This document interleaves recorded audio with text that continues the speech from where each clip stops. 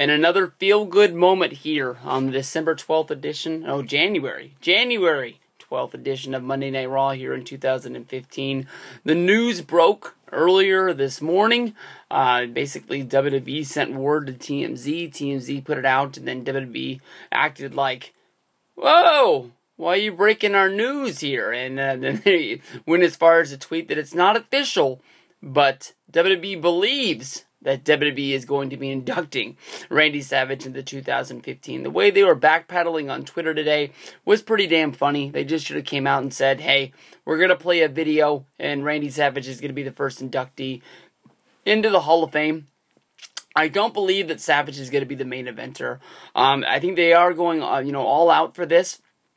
Uh, WWE Network. Uh, I didn't. I never saw a tweet. I just saw a tweet that it was going on. Um, breaking into coverage with the uh, breaking news. Um, this is this is something uh, that I thought was really really cool. If you remember back to the Roman Reigns injury, um, you know they had the video. Although they told us it was going to play at eleven, and it didn't play until almost one.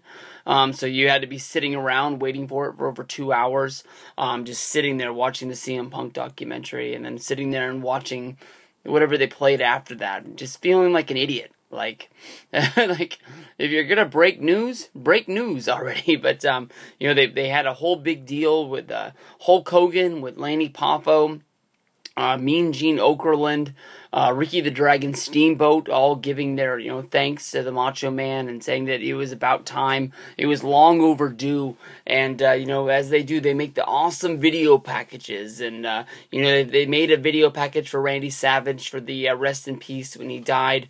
I believe that was back in 2012. Um, you can easily say that Savage should have been, gone into the Hall of Fame there. It seemed like that he was coming into good graces with the WWE. Um, there is the, the, the ongoing rumor uh, that basically Savage's um, dying wish uh, was that you know not to put him into the WWE Hall of Fame unless all the Poffos win in it all at one time. His father and his brother, um, Lanny Poffo. Um, you know there, there's lots out there about him being a great wrestler. Um, you know he, he of course was the genius inside of the WWE. Randy's father was a legend. He's in the WCW Hall of Fame. It's debatable if he should be in that Hall of Fame. Randy wanted his brother to go in. I'm sorry, Randy wanted his father to go in. Uh, because of this, the main announcer for WCW he quit. Uh, basically, because he felt that the uh, WCW was sort of, you know, laying down uh, for its performers, putting people in there that shouldn't go in there.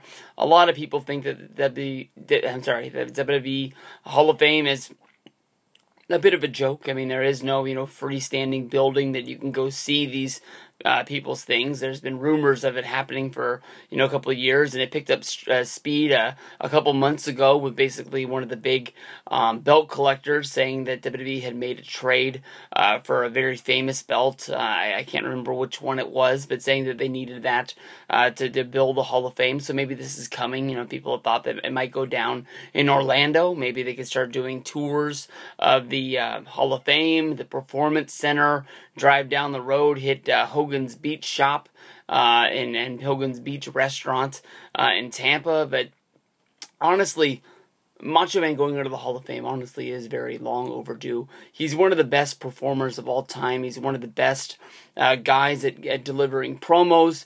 Um, he was very colorful. Um, he really reached out and grabbed you through the television screen, and he made you, you know, pay attention to what he was doing. He made you pay attention to his matches.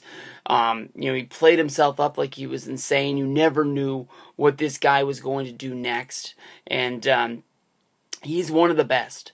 And you know, there, there there's, always going to be those rumors in the back of you know why Savage was never brought back to WWE, um, why uh, there's no Triple H, why there's no Stephanie, why there's no Vince McMahon on the Randy Savage story, the Macho Man DVD. But um, hopefully now this can be put down to rest. Um, they, are going to give it a big deal at at, um, at WrestleMania 31. Uh, I don't think he's going to be the main eventer. I, I, think that there's still going to be a name that to send us all home happy uh, with a speech.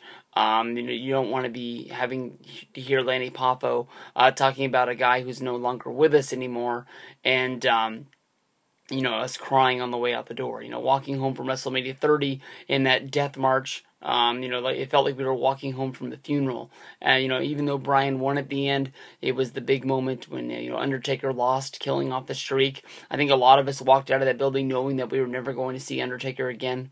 Um, and uh, that, that Brock Lesnar had basically killed the man right there in the middle of the ring.